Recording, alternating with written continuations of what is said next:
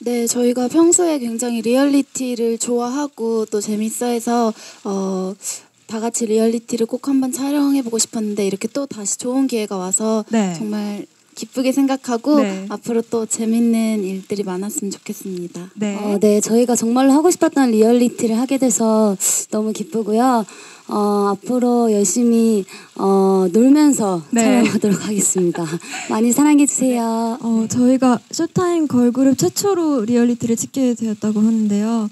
어, 그래서 너무나 감사하고 저희가 즐겁게 촬영하고 있는 만큼 즐겁게 봐주셨으면 좋겠습니다. 어, 저희가 네. 대중분들과 한층 더 가까워질 수 있는 기회가 되지 않을까 싶어서 너무 기쁘고요. 저희 진짜 에이핑크의 쇼 타임을 보여드리도록 하겠습니다. 감사합니다. 아, 네. 평소에 쇼. 해보지 못했던 도전이나 또 일탈 같은 모습들도 멤버들과 같이 재밌게 보여드리고 싶고요.